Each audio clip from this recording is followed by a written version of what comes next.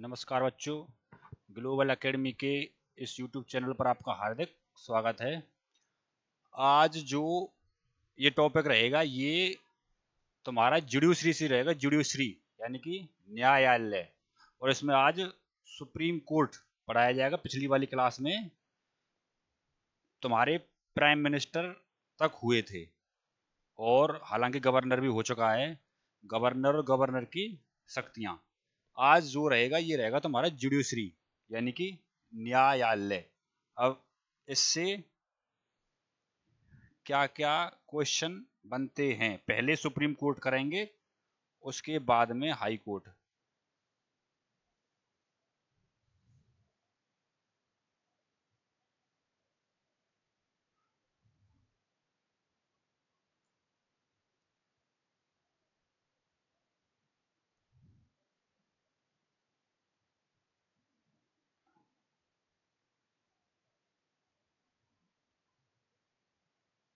न्यायालय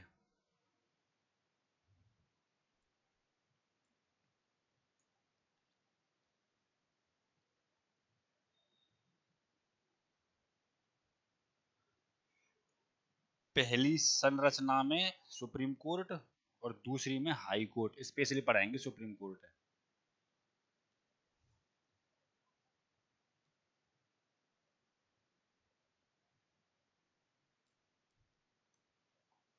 supreme court सर्वोच्च न्यायालय।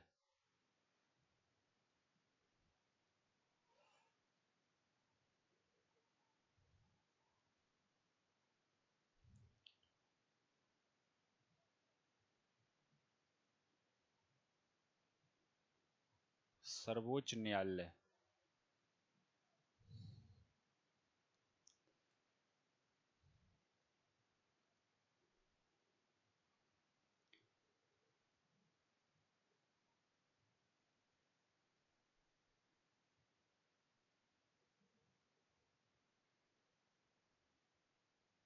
सर्वोच्च न्यायालय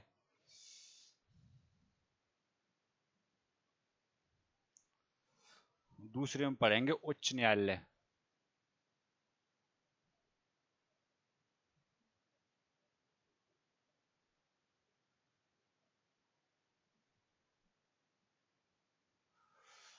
और तीसरे पढ़ेंगे अधीनस्थ न्यायालय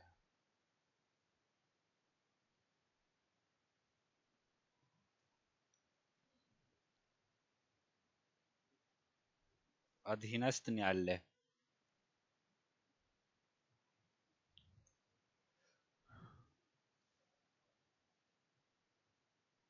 ठीक है। पढ़ना सुप्रीम कोर्ट ही है।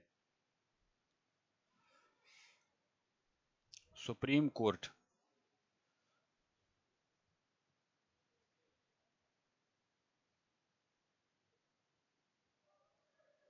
सुप्रीम कोर्ट इसी की बात चलेगी। तो सबसे पहले तो इसकी आर्टिकल से स्टार्ट करते, कौन से अनुच्छेद में ये आता है? Supreme court. तो अनुच्छेद है इसका 124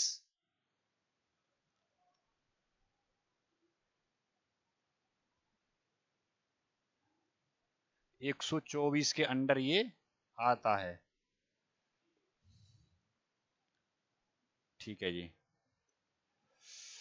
तो सुप्रीम कोर्ट की और इम्पोर्टेंट बात क्या है? तो सबसे पहले तो इसका गठन। कब हुआ था? कौन से एक्ट से हुआ था?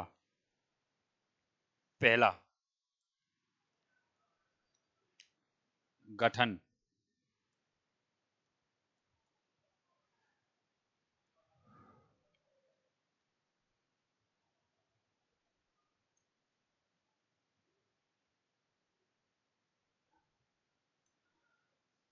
पहले तो बात करेंगे इसके गठन की। गठन कब हुआ?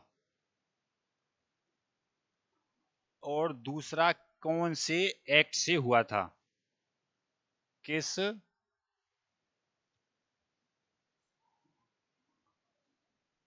अधिनियम के तहत हुआ?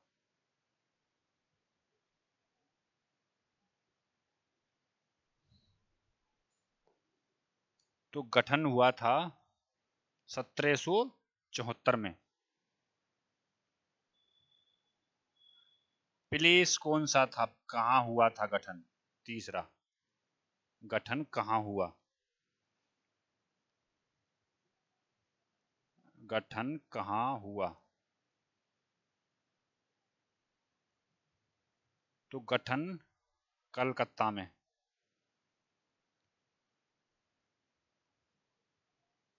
सत्रह सौ चौहत्तर में। और रेगुलेटिंग एक्ट के थ्रू ये हुआ था।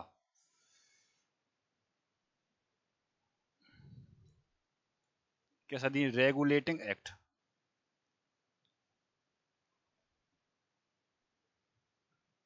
Regulating act सत्रह सो तिहत्तर के थ्रू इसका गठन हुआ था। ठीक है जी।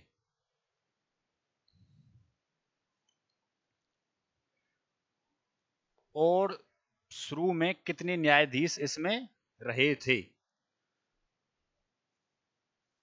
पहला पॉइंट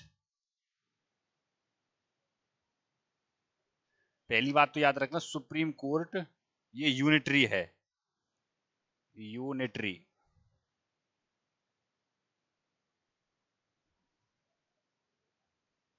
यूनिटरी का मतलब होता है अपने आप में एक ही है। ठीक है जी? यूनिटरी। यूनिटरी है एक। ठीक है जी? दूसरी बात यह है कि जब इसका गठन किया गया था तो कितने जज इसमें रहे थे?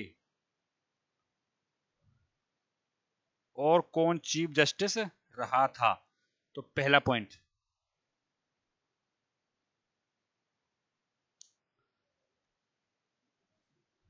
कुछ इंपोर्टेंट बात। पहली।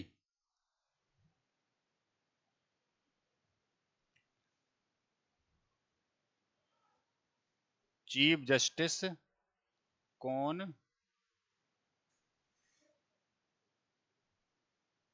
बना था। दूसरा पॉइंट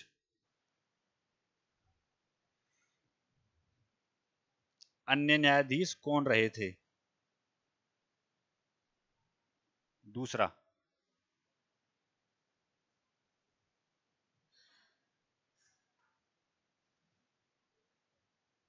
अन्य न्यायाधीश कौन थे? और उच्च न्यायालय की आपको पता है कि उच्च न्यायालय कौन से थे और कौन कौन का पहले गठन हुआ था?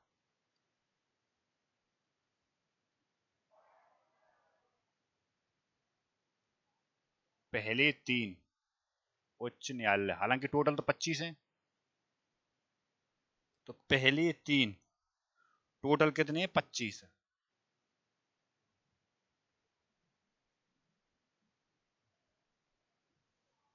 टोटल कितने पच्चीस। पहला। पहले तीन। पहला था कलकत्ता। कलकत्ता उच्च न्यायालय। दूसरा था बंबई। और तीसरा मद्रास। अगर इनकी डेट की बात की जाएँगे तो ईयर तो सबके सेम ही रहेंगे। हालाँकि इसकी डेट चेंज हो जाएँगी तो डेट इसकी जो रहेंगी डेट में चेंजमेंट हो जाएगा। पहला, कलकत्ता वाला हुआ था 2 जुलाई अठारह सो बासठ। दो जुलाई अठारह सो बासठ। दो जुलाई अठारह सो बासठ।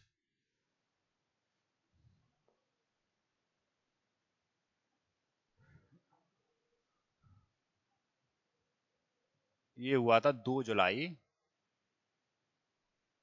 अठारह बासठ। और ये हुआ था चौदह अगस्त अठारह और ये 15 अगस्त अठारह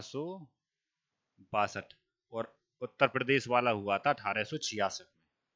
बासठ के बाद छियासठ में। ठीक है जी। तीसरा क्वेश्चन।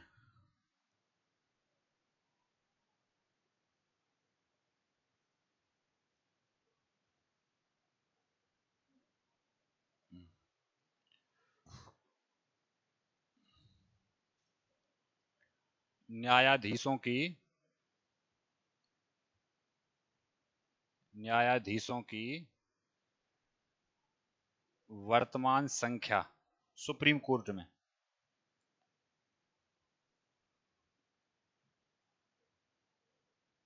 ठीक है जी। चौथा क्वेश्चन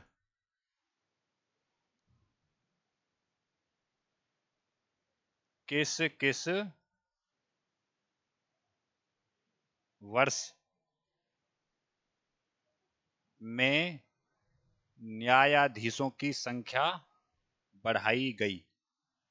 वर्ष में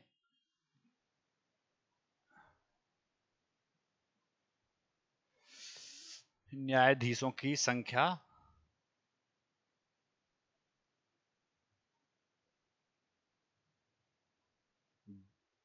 बढ़ाई गई। पांचवा क्वेश्चन।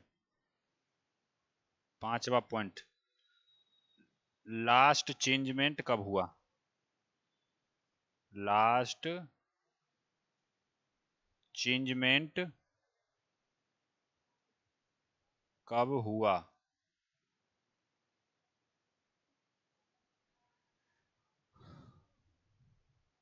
कब हुआ? ठीक है जी।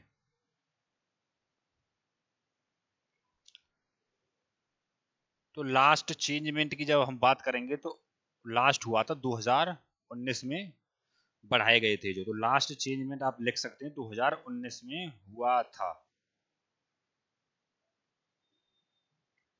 2019 में 30 होते थे चीफ जस्टिस, मुख्य न्यायाधीश से अलावा। अब वो तैतीस कर दिए गए थे तो फिर एक प्लस तैतीस की संरचना लास्ट में बनाई गई।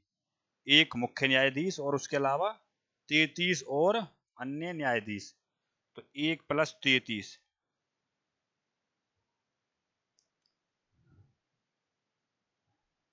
एक प्लस तैतीस। ये अन्य न्यायाधीश हैं।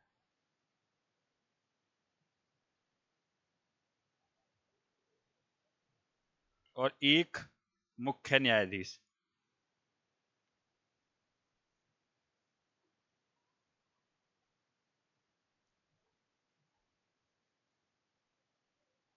मुख्य न्यायाधीश। किस किस वर्ष में न्यायाधीशों की संख्या बढ़ाई गई? तो इसका चेंजमेंट उन्नीस सौ छप्पन, साठ, सतहत्तर, सतासी और आठ और उन्नीस में। तो लिख लीजिए, पहला उन्नीस सौ छप्पन में बढ़ाई गई। उन्नीस सौ छप्पन के बाद में साठ में बढ़ाई गई।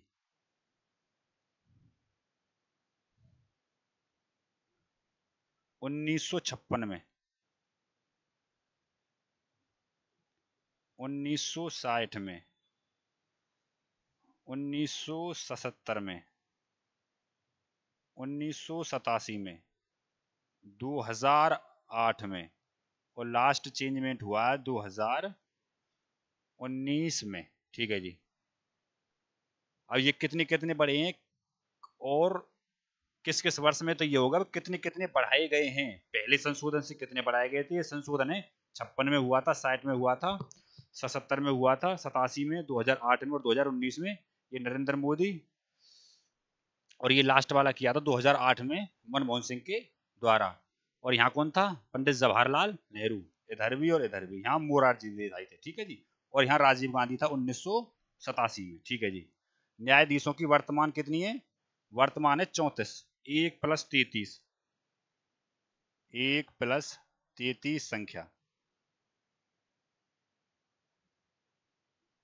ठीक है, अब इसके बाद में अगले पॉइंट से।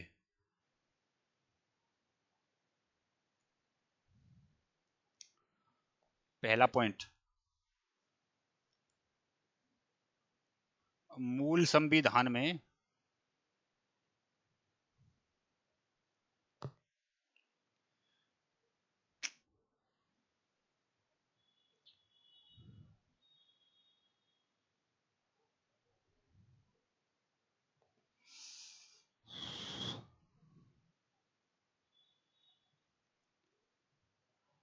मूल संविधान में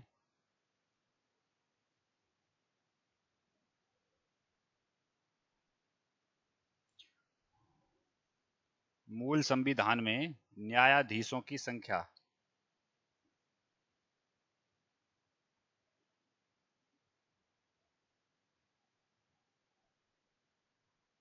न्यायाधीशों की संख्या एक प्लस सात थी, एक चीफ जस्टिस और उसके बाद में सात अन्य न्यायाधीश, यानी कि एक प्लस सात। एक मुख्य न्यायाधीश। एक मुख्य न्यायाधीश। और सात थे अन्य न्यायाधीश, जब संविधान लागू हुआ था, यानी कि वर्तमान समय में उस टाइम पर। तो एक प्लस सात की संरचना। सात अन्य न्यायाधीश। एक प्लस सात।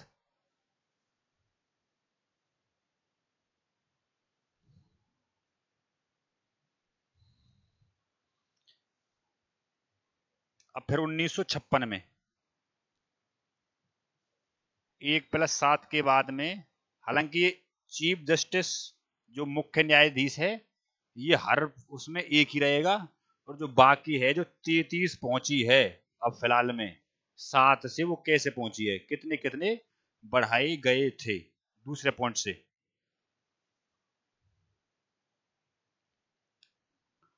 तो उन्नीस छप्पन वाला अमेंडमेंट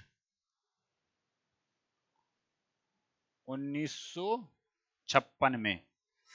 ये सात थे, पहली बार में बढ़ाए गए थे तीन। तो ये हो गए कि एक प्लस दस। एक प्लस दस। ये मुख्य न्यायाधीश है एक। और ये अन्य न्यायाधीश हैं। यानी कि पहली बार में बढ़ाए गए तीन। और उसके बाद में फिर 1960 में फिर बढ़े थे तीन। 1960 में एक प्लस तीर है। एक मुख्य और बाकी तीर है अन्य।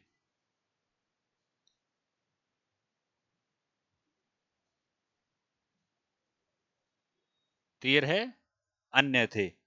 तीसरा तीसरा हुआ था उन्नीस में। चौथा। चौथा पॉइंट उन्नीस में।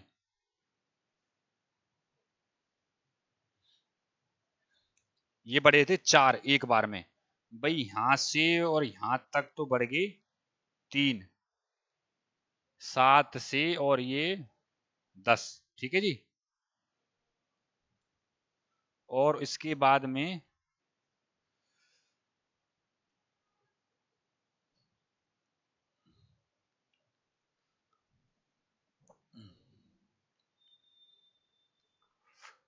दस से और तीर है।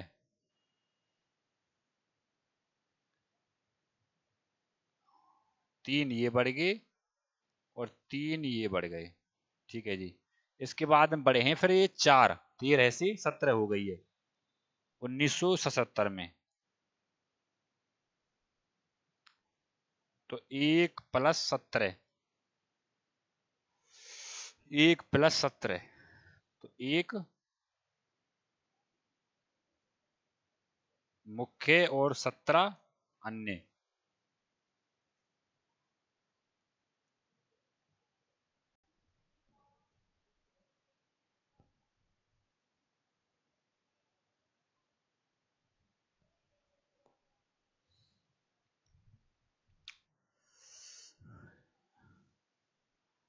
अब बात करेंगे कितने हो गए जी ये? चार यहाँ बड़े।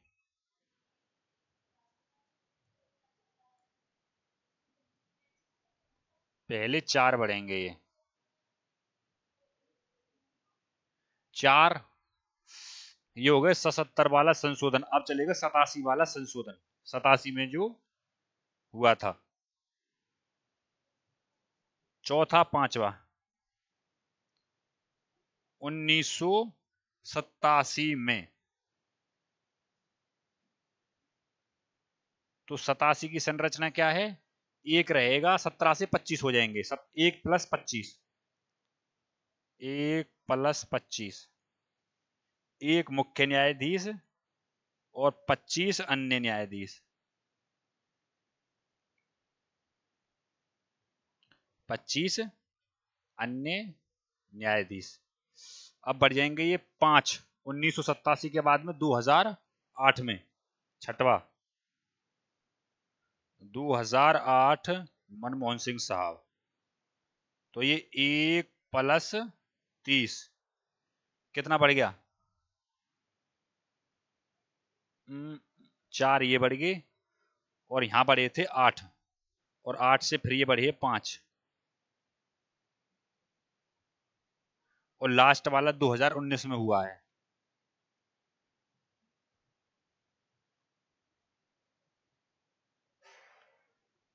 दो हज़ार उन्नीस में। तो एक प्लस तीन।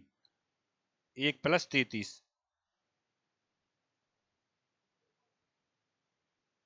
तो एक प्लस तैतीस। तो ये प्रेजेंट वाली आज जितने भी न्यायाधीश हैं तो एक प्लस तैतीस है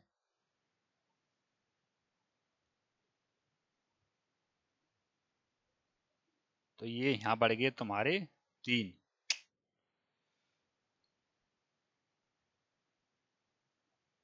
और ये प्रेजेंट की संरचना है। प्रेजेंट में।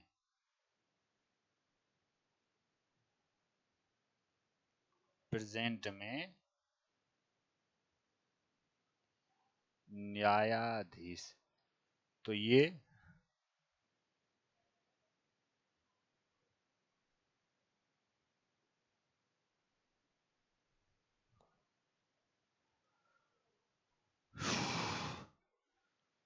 तो ये आप देख सकते हैं एक बार।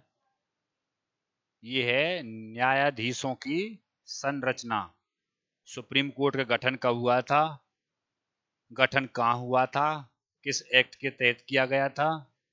न्यायालय कितने होते हैं? सबसे ऊपर सर्वोच्च है, उससे नीचे उच्च न्यायालय, पच्चीस हैं। सुप्रीम कोर्ट एक ही है, अपने आप में यूनिटरी है। और सुप्रीम कोर्ट कौन से अनुच्छेद में आता है? 124 इंपोर्टेंट बात है। ठीक है जी। इसके बाद में ये मूल संविधान में न्यायाधीशों की संख्या एक प्लस सात, छप्पन में संशोधन किया गया। एक प्लस दस कर दी गई, सात बढ़ाई। फिर तीन बढ़ाई, फिर चार। चार के बाद में फिर आठ बढ़ाई। आठ के बाद में फिर पाँच बढ़ाए थे, तीस। और अब कर दिए हैं तीस ठीक है जी। इसके बाद में अब चलेंगे अनुच्छेद 125 पर। अनुच्छेद 125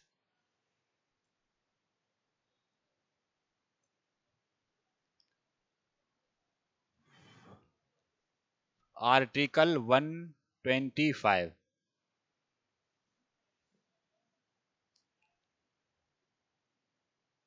आर्टिकल 125 अनुच्छेद 125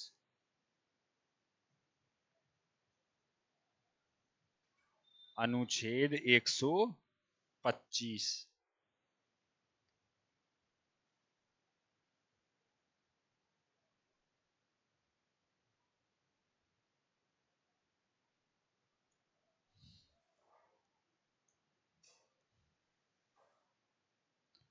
इसमें आते हैं सुप्रीम कोर्ट के न्यायाधीशों के वेतन और भत्ते का प्रावधान। सुप्रीम कोर्ट के न्यायाधीशों के वेतन एवं भत्ते। सर्वोच्च न्यायालयों के वेतन एवं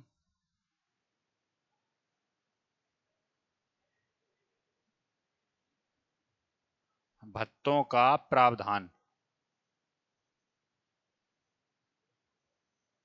वेतन एवं भत्तों का प्रावधान। आर्टिकल 125 अनुच्छेद 126 आर्टिकल 126 अनुच्छेद 126 तो अनुच्छेद 126 है तुम्हारा। कार्यकारी मुख्य न्यायाधीश, अभी कार्यकारी मुख्य न्यायाधीश कौन होते हैं, अभी बताते हैं। कार्यकारी मुख्य न्यायाधीशों का प्रावधान। कार्यकारी मुख्य न्यायाधीश। कार्यकारी मुख्य न्यायाधीश।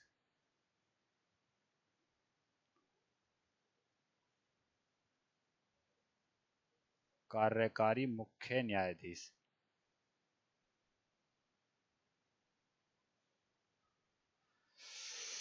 कार्यकारी मुख्य न्यायाधीश जब वर्तमान वाला जो चीफ जस्टिस है, जो वर्तमान वाला चीफ जस्टिस है, अगर वो किसी वजह से प्रेजेंट ना हो, अपने काम करने में असमर्थ ना हो, या फिर प्रेजेंट ना हो, या फिर उसका पद पहले से खाली हो तो उसकी जगह पर राष्ट्रपति किसी दूसरे व्यक्ति को तो सुप्रीम कोर्ट का ही वो वरिष्ठतम न्यायाधीश होता है।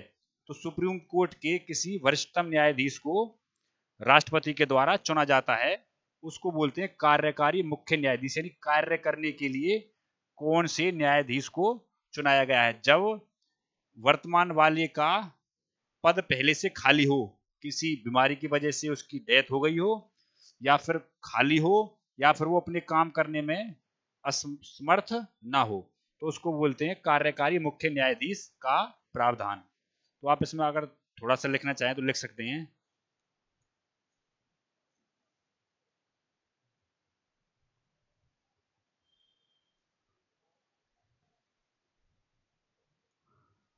जब वर्तमान वाला न्यायाधीश, वर्तमान वाला न्यायाधीश का पद खाली हो, या फिर आप ऐसे बोल सकते हैं, वो अपने काम करने में समर्थ ना हो या अपने काम को करने में असमर्थ ना हो।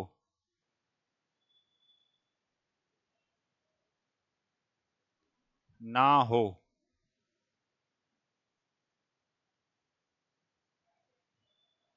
ना हो या फिर आप ऐसे बोल सकते किसी कारणवश पद खाली हो। या किसी कारणवश पद खाली हो। खाली हो तो कार्यकारी मुख्य न्यायाधीश को चुना जाता है। तो उस समय राष्ट्रपति के द्वारा राष्ट्रपति के द्वारा उसको चुना जाता है।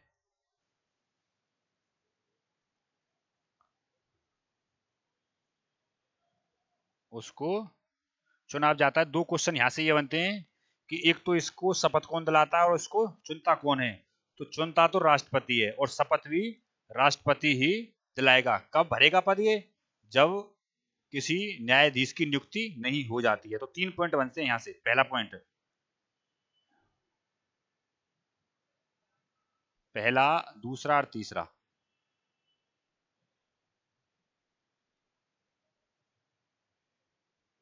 पहला। शपथ कौन दिलाता है? दूसरा, चुनता कौन है? तो पहले तो शपथ कौन दिलाता है? शपथ। Oath O A T H तो राष्ट्रपति दिलाता है इसको शपथ। प्रेसिडेंट। राष्ट्रपति। शपथ दिलाएगा।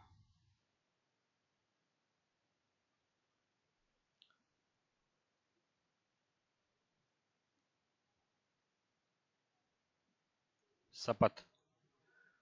इसके बाद में, चुनता कौन है इसको? चुनता कौन है?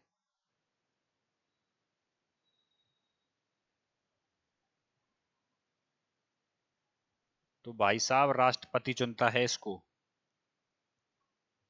राष्ट्रपति।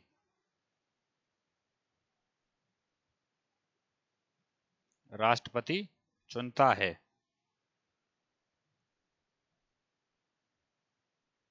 तीसरा क्वेश्चन कब तक के लिए?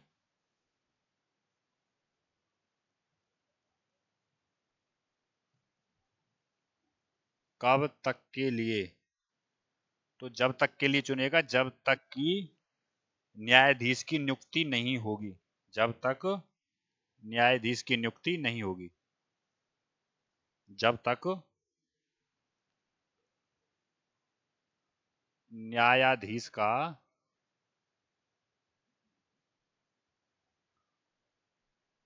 पद नहीं भरेगा। तो जब तक तो नियुक्ति रहेगी ही, रहेगी। तो ये यहाँ से क्वेश्चन बन जाते हैं। तीन।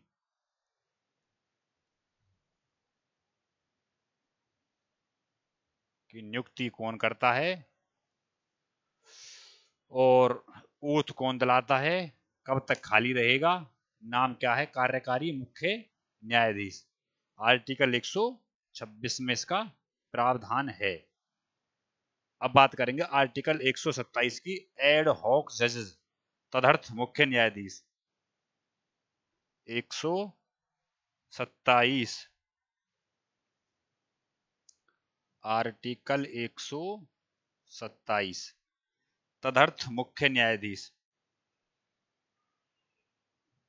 अनुच्छेद 127 इनको बोलते हैं तदर्थ न्यायाधीश।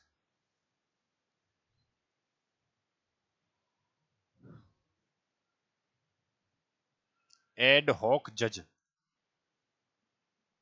एड हॉक जज। एड हॉक जज। और हिंदी में बोलते हैं इनको तदर्थ न्यायाधीश। तदर्थ न्यायाधीश।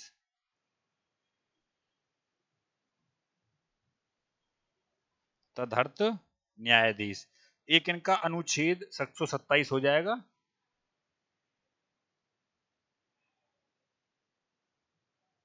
एड हॉक जज क्या होते हैं? क्या इनका काम होता है? कितने टाइम के लिए चुने जाते हैं? इनका टाइम पीरियड बहुत इंपॉर्टेंट है। कई बार पूछा गया है। तो क्वेश्चन कितने बन जाते हैं यहाँ से? एक आर्टिकल क्या है? कितने वर्ष के लिए चुने जाते हैं? कौन इनको चुनता है? और इनका कार्य क्या है? तीन क्वेश्चन यहाँ से बनते हैं। पहला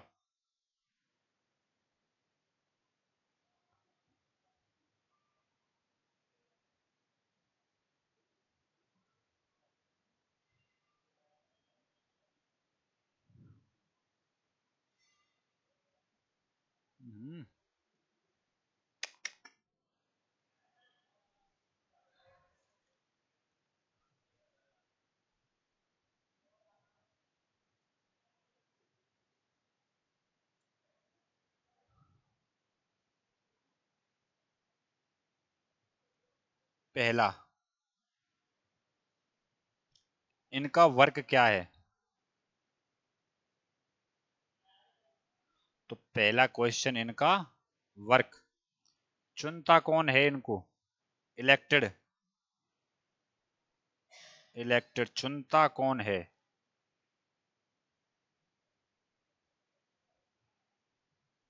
चुनता कौन है?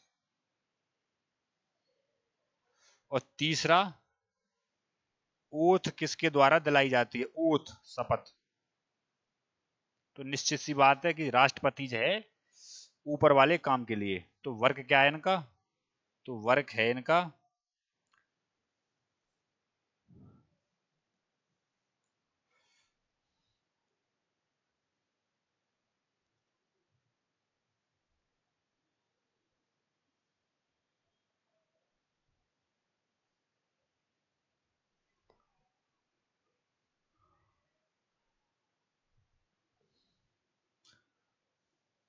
तो इसको चुनता है राष्ट्रपति।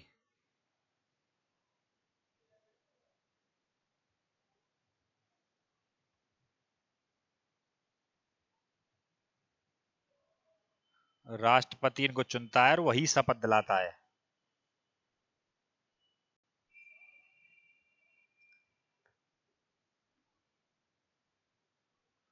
और वर्क क्या है इनका? वर्क इनका ये है कि जब किसी केस में या मामले में वकीलों की संख्या बराबर पड़ जाती है और केस का रिज़ल्ट नहीं निकल पाता है मान लो किसी केस में या तुम्हारा वकीलों का जो बेंच है, वो बेंच में है दस वकील और केस का रिज़ल्ट नहीं निकल पा रहा है। क्यों? क्योंकि पाँच पाँच दोनों तरफ़ हो गए, पाँच उस तरफ़ हो गए पाँच उस तरफ़ हो गए। तो कंप्लीट बेंच जब पूरा नहीं होता तो ऐसे केस में एड हॉक जजेस का प्रावधान है।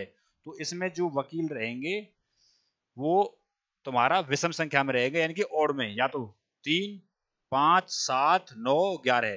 क्यों? अगर पाँच भी रहेंगे तो तीन एक साइड चले जाएँगे और दो एक साइड चले जाएँगे, तब भी केस का रिज़ल्ट निकल जाएगा। तो ऐसे केस में एड हॉक जजेस का प्रावधान सबसे बेस्ट है। तो वर्क क्या है इनका? जब कंप्लीट बेंच पूरी ना हो, जब सुप्रीम कोर्ट की, जब सुप्रीम कोर्ट की बेंच पूरी ना हो। ये बेंच है पैनल एक तरीके से, यानी कितने न्यायाधीश हैं उसमें। सॉरी वो वकील नहीं है, न्यायाधीश हैं वो, ठीक है जी? जब सुप्रीम कोर्ट में बेंच पूरी ना हो, बेंच यानी कि पैनल, कितने न्यायाधीशों का वो पैनल है? बेंच पूरी ना हो या गणपूर्ति ना हो पूरी, या गणपूर्ति पूरी ना हो। गणपूर्ति बोलते हैं कोरम। कोरम में कई बार बता चुका हूँ, कोरम क्या होता है?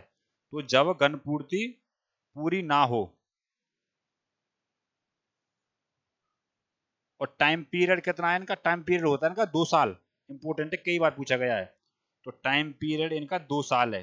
ये दो साल के लिए चुने जाते हैं। टाइम है इनका दो साल।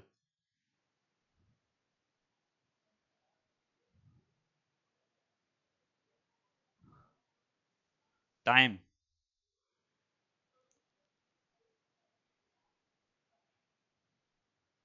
दो ईयर। दो साल के लिए चुने जाते हैं।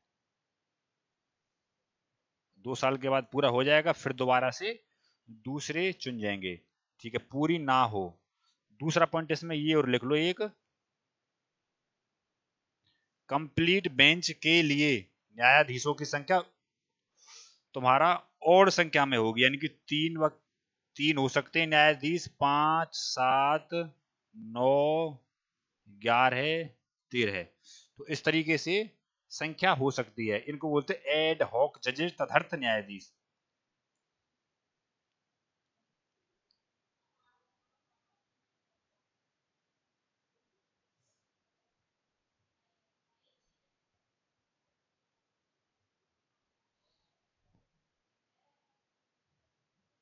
एक सौ पच्चीस, एक सौ छब्बीस और एक सौ सत्ताईस। एक बार आप 125 में न्यायालयों के वेतन और भत्तों का प्रावधान, सर्वोच्च न्यायालय के न्यायाधीश लिख लेंगे आप, यहाँ पर सर्वोच्च न्यायालय के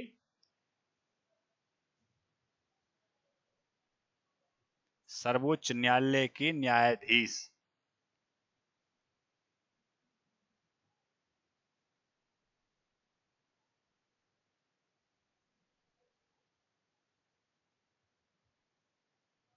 न्यायाधीशों के वेतन और भत्ते 126 में कार्यकारी मुख्य न्यायाधीश और 127 में एड हॉक जजेस हैं। तीसरा पेज से चलते हैं। एक पूछा जाता है कि सबसे बड़ा बेंच कौन से केस में था? सबसे दूसरे नंबर का कौन से वाले में था? तो एक क्वेश्चन पूछा जाता है कि सबसे बड़ा बेंच सुप्रीम कोर्ट में कौन से केस में था? Note one.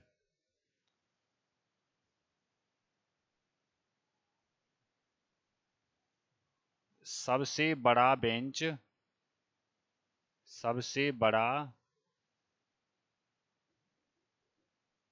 Bench, supreme court के न्यायाधीशों का।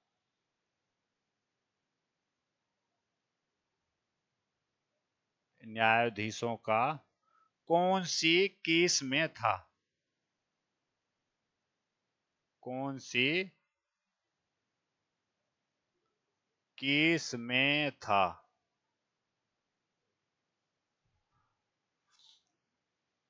तो ये केशवानंद भारती केस में था। इसका आंसर है केशवानंद भारती। केशवानंद भारती का जब पॉइंट आएगा तो आगे भी बता देंगे क्या पॉइंट था केशवानंद भारती। तो इसका आंसर है केशवानंद भारती, केस। केशवानंद भारती केस क्या था, बताएँगे वो भी। केशवानंद भारती केस। ये जो केशवानंद भारती केस जब हुआ था, ये जब सरकार के द्वारा संविधान के ढांचे को चेंज किया जा रहा था तो इसमें अपना इसने रुझान दिया था कि भाई क्या होना चाहिए, क्या नहीं होना चाहिए। तो दूसरा पॉइंट हालाँकि आगे बताएँगे अभी, जब बाद ये आएगा, केशवानंद का नोट नंबर दो। दूसरा सबसे बड़ा बेंच दूसरा सबसे बड़ा बेंच न्यायाधीशों का। न्यायाधीशों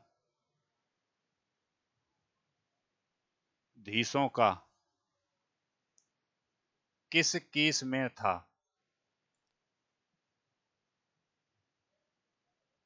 तो इसका आंसर आएगा गोलकनाथ वाद केस। ये क्या था? ये भी आगे बताएँगे अभी। गोलकनाथ वाद केस।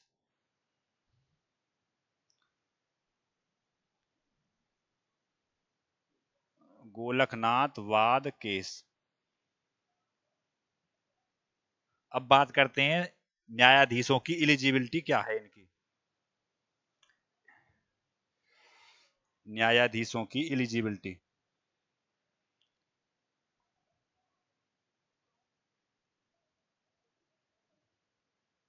एलिजिबिलिटी ऑफ़ जज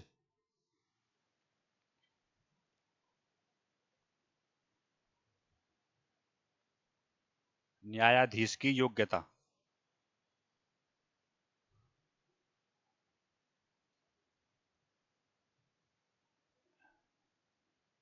न्यायाधीशों की योग्यता।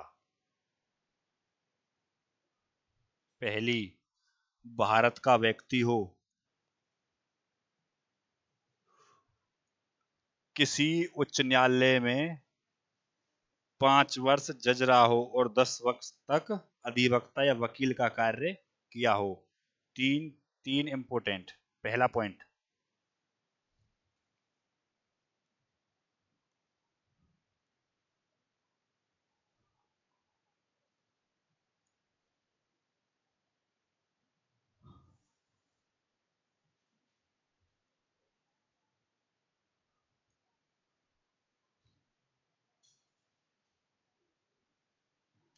भारत का नागरिक हो पहला।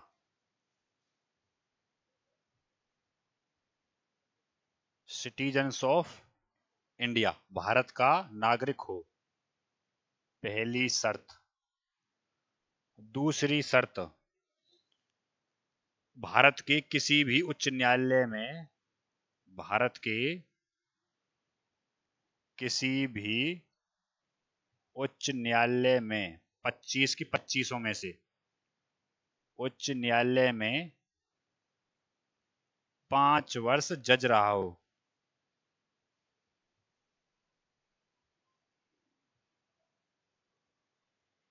तीसरा, दस वर्ष तक वकालत की हो। किसी भी उच्च न्यायालय में दस वर्ष तक वकालत की हो। भारत के किसी भी न्यायालय में दस वर्ष वकालत की हो। तो ये तीन पॉइंट हैं पहला, दूसरा और तीसरा।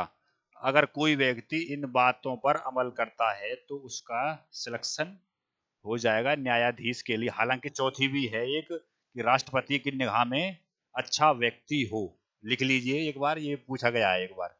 चौथा पॉइंट राष्ट्रपति की निगाह में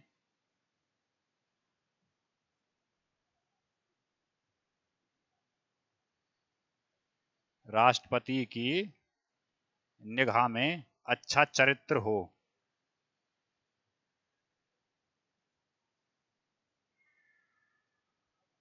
करेक्टर अच्छा होना चाहिए, ठीक है जी? नोट नंबर तीन.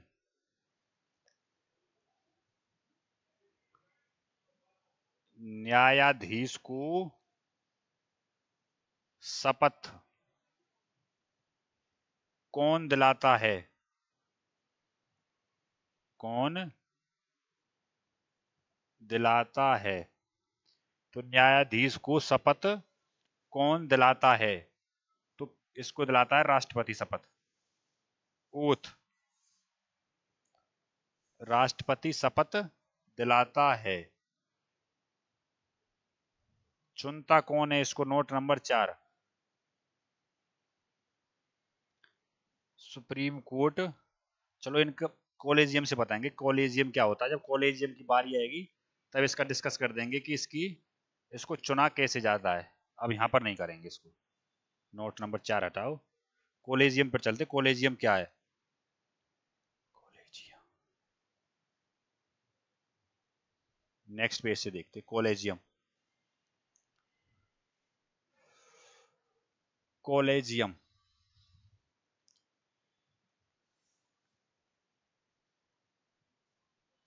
कॉलेजियम ये एक बोर्ड होता है जो न्यायाधीशों का चुनाव करता है। तो कॉलेजियम, न्यायाधीशों का चुनाव। चुनाव नहीं सॉरी नियुक्ति।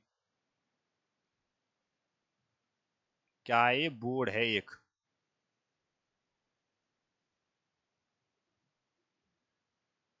तो सुप्रीम कोर्ट के न्यायाधीशों को चुनने का कितने इसमें सदस्य होते हैं? ये पूछा जाता है। पहला, इसके सदस्य।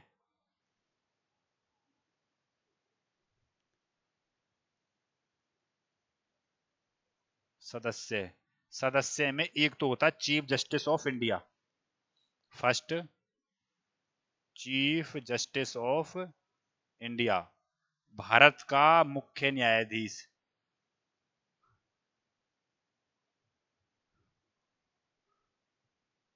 भारत का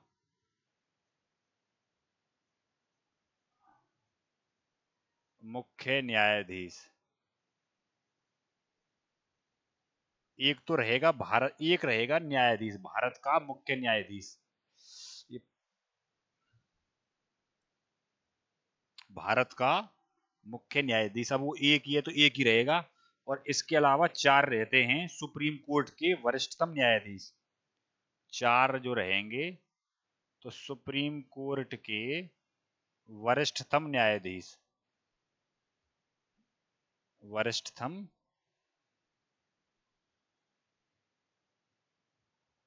न्यायाधीश तो एक तो रहेगा कॉलेजियम में भारत का मुख्य न्यायाधीश और उसके अलावा सुप्रीम कोर्ट के चार वरिष्ठतम न्यायाधीश। यानी कि पाँच जो मेंबर्स होते हैं, वो कॉलेजियम के सदस्य होते हैं। ये बोर्ड है, सुप्रीम कोर्ट के न्यायाधीशों को चुनने का। अब बारी बारी से देखते हैं कि जो हाई कोर्ट्स हैं तो हाई कोर्ट के जो न्यायाधीश हैं, उनको कौन चुनता और कैसे चुनता है? दूसरा, जो जिला न्यायालय हैं, यानी कि डिस्ट्रिक्ट न्यायालय तो डिस्ट्रिक्ट न्यायालय के जो जज हैं उनको कौन चुनता है किस तरीके से चुनता है? और मुख्य न्यायाधीश को कौन चुनता है? किस तरीके से उसको चुना जाता है? तो नोट नंबर वन।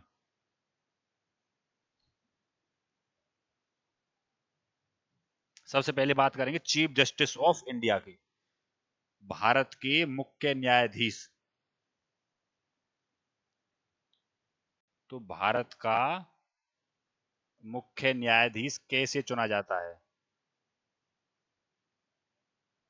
न्यायाधीश कैसे चुना जाता है? कितने व्यक्तियों से सहमति लेनी पड़ती है कि भाई यही बनेगा? और ये तो पता ही है कि भाई राष्ट्रपति तो रहेगा ही रहेगा।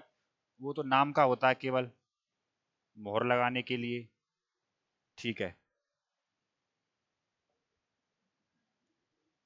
तो इसमें लिखेंगे पहला पॉइंट। भारत का राष्ट्रपति चुनता है। राष्ट्रपति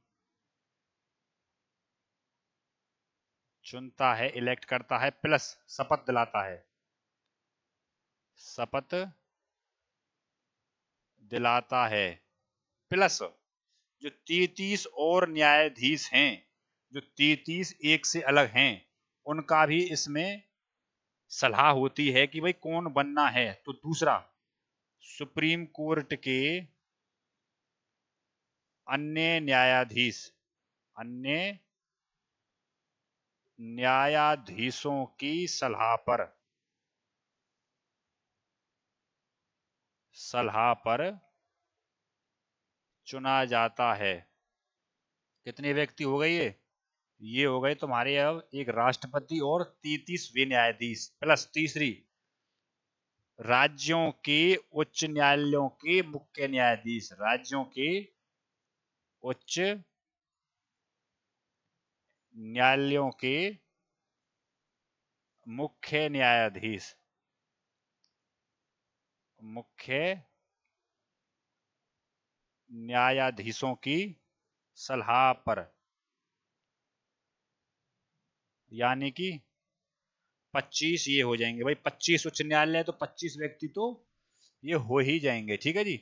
और एक भारत का राष्ट्रपति, हालाँकि इसमें पीएमओ हालाँकि प्रधानमंत्री का भी इसमें योगदान होता है थोड़ा सा उसी की सिफारिश पर इसमें चुना जाता है, उसका भी। और सुप्रीम कोर्ट के अन्य न्यायाधीश जो तैतीस वाले हैं, उनका भी सहयोग रहता है। तीसरा, राज्य के जो उच्च न्यायालय हैं, उनके मुख्य न्यायाधीश से सलाह पर ये चुना जाता है। कई बार ये कोटेशन के रूप में दिया गया है कि भाई कथन दे करके निम्नलिखित में से कौन सी बात ठीक है? तो इस बात को याद रखना, ये हो जाएँगी। हालाँकि इसमें एक दो पॉइंट और भी हैं, पर लेकिन इससे ही काम चल जाएगा, कोई ज़रूरी नहीं है उसका, ठीक है जी? अब बात करेंगे दूसरे, राज्यों के उच्च न्यायालयों के मुख्य न्यायाधीश।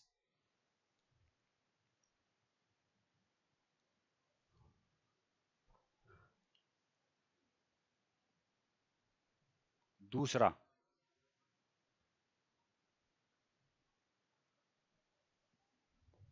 नोट नंबर दो।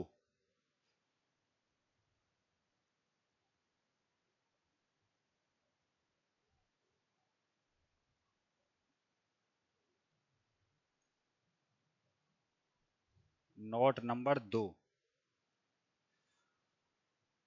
राज्यों के उच्च न्यायालयों को के राज्यों के उच्च न्यायाधीश। राज्यों के उच्च न्यायाधीश, यानी कि जो 25 हाई कोर्ट्स हैं, उनके मुख्य न्यायाधीश कैसे चुने जाते हैं? उच्च न्यायाधीश को कैसे चुना जाता है?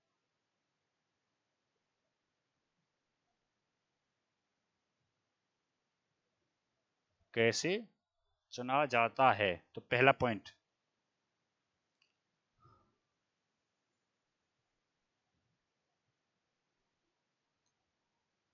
पहले वाले में चेंजमेंट ये हो जाएगा कि जो चीफ जस्टिस ऑफ़ इंडिया है, उसको तो शपथ दिलाएगा राष्ट्रपति, लेकिन राज्य वाले में राज्यपाल हो जाएगा शपथ के लिए, चुनेगा उसको राष्ट्रपति ही।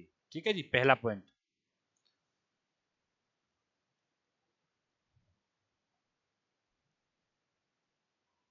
पहला पॉइंट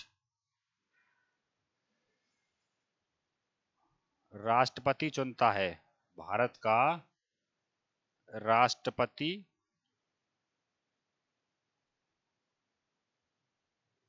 चुनता है। बस शपथ वाला ओथ वाला चेंज हो जाएगा। भाई वो बड़े लेवल पर है, सुप्रीम कोर्ट का तो राष्ट्रपति दिलाता है। राज्यों में आ रहा तो राज्यपाल दिलाएगा। दूसरा पॉइंट चेंज हो जाएगा ओथ वाला बस इसमें, ठीक है? तो शपथ राज्यपाल दिलाता है।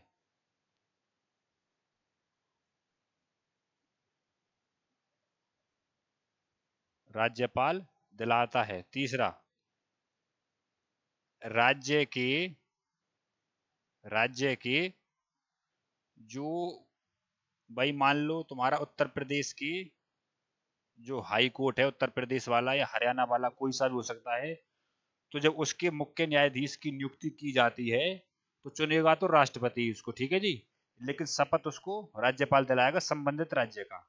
तीसरा पॉइंट ये है कि जो उत्तर प्रदेश का न्यायालय है तो उत्तर प्रदेश के जो मुख्य न्यायाधीश से अलग जितने भी न्यायाधीश रहेंगे तो उनकी सलाह इसमें इंपोर्टेंट रहेगी। उनसे सलाह लेनी पड़ेगी कि ये ठीक रहेगा या नहीं रहेगा।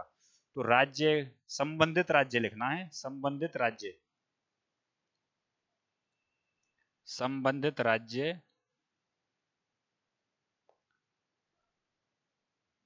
संबंधित राज्य के उच्च न्यायालय के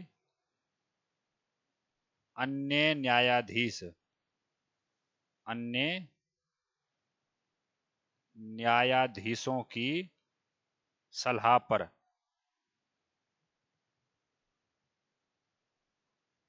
सलाह पर चुनाव किया जाता है। चुना जाता है।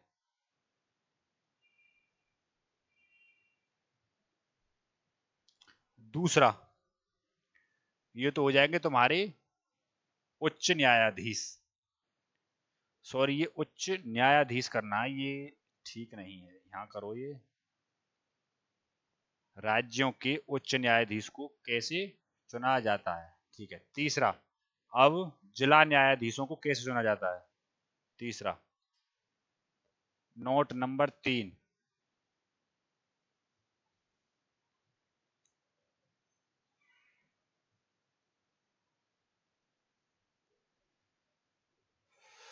जिला न्यायाधीशों को कैसे चुना जाता है?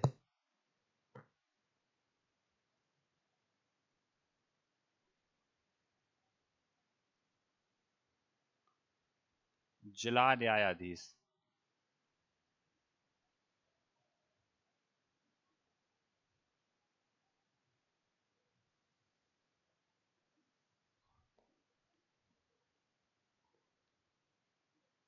जिला न्यायाधीशों को कैसे चुना जाता है? तो इसका कैसे होता है चेन इसका चयन कैसे होगा? तो पहला, भाई एक तो इसको चुनेगा तो राज्यपाल ही। भाई ये जिला जब न्यायाधीश की बात चल रही है, जिला न्यायाधीश यानी कि डिस्ट्रिक्ट जो जज हैं वो कैसे चुने जाते पहला पॉइंट तो इसमें राज्यपाल चुनेगा। ओबियस सी बात है। भाई राज्य की बात चल रही है तो राज्यपाल ही चुनेगा। पहला, राज्यपाल चुनता है।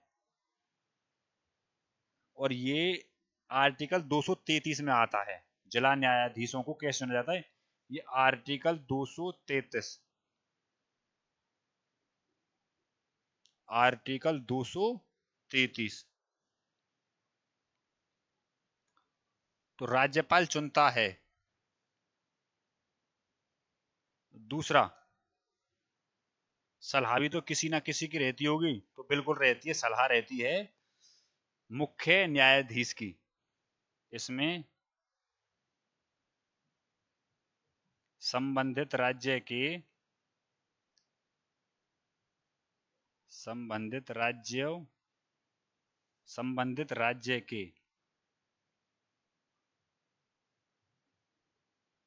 संबंधित राज्य के न्यायाधीशों की सलाह पर। सलाह पर। तो ये जिला न्यायाधीश को कैसे चुनता है राज्यपाल चुनता है। इसमें संबंधित जिस राज्य का कोर्ट है, भाई डिस्ट्रिक्ट तो बहुत हैं, किसी एक प्रांत में तो एक तो राज्यपाल उसको चुनेगा। दूसरा, जो संबंधित राज्य है, जिसमें उसका चुनाव होना है तो उसके न्यायाधीश की सलाह भी इसमें लेनी पड़ेगी। ठीक है जी।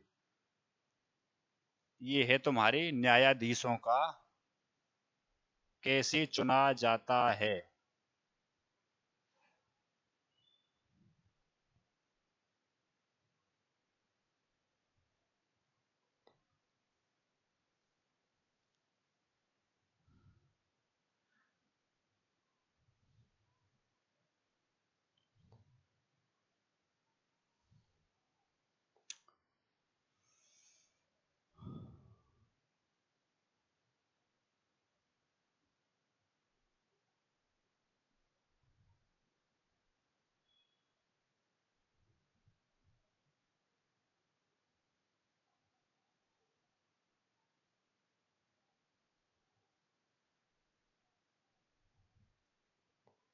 इसके बाद हम बात करेंगे इनके टेन्यूर की पदावधि।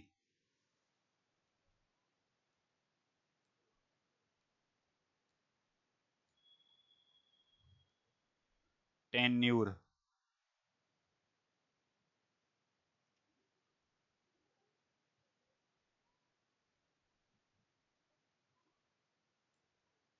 पदावधि टाइम पीरियड।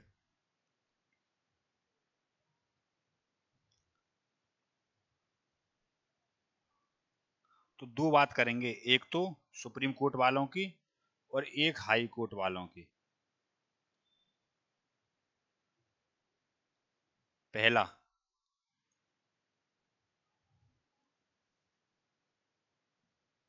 दूसरा तो पहला है सुप्रीम कोर्ट के।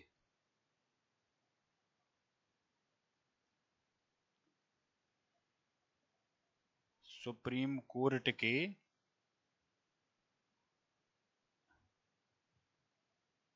न्यायाधीशों का कार्यकाल। और दूसरा उच्च न्यायालयों के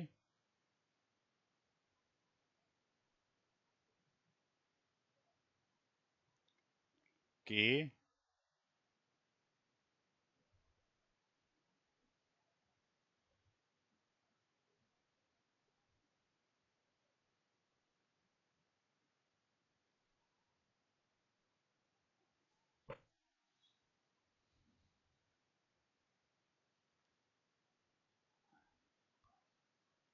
तो इनका होता है छह साल या पैंसठ वर्ष। छ साल या पैंसठ वर्ष। छह साल या पैंसठ वर्ष, जो भी एज पहले होगी, जो भी एज पहले हो, इन दोनों में तो जोन सी भी पहले हो जाएगी, उसी पर टाइम पीरियड खत्म हो जाएगा उनका। जो भी पहले हो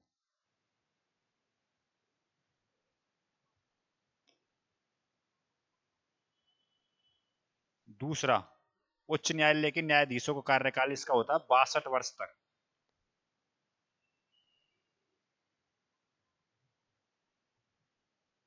यानी कि बासठ वर्ष तक ही ये अपने समय पर रह सकते हैं। यानी कि बासठ से ज़्यादा नहीं होनी चाहिए।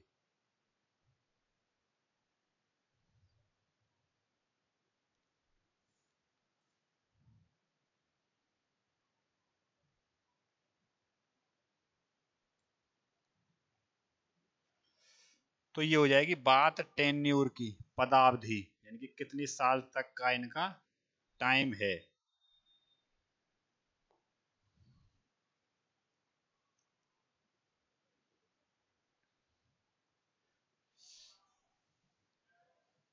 तो अब अगली क्लास कल करेंगे। चार चालीस हो गए? ठीक है। एक टॉपिक और हो जाएगा अभी।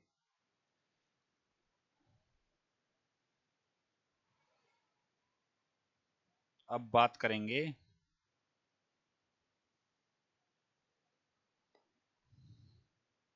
सुप्रीम कोर्ट के क्षेत्राधिकार।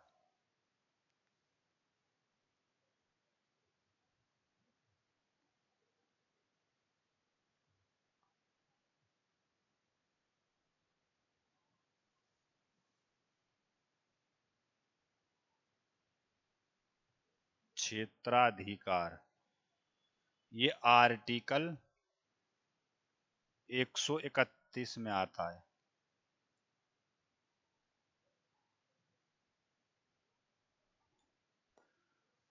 ये रहेगा टॉपिक कल के लिए। वीडियो अच्छी लगे तो like share and subscribe channel को ज़रूर करें। धन्यवाद।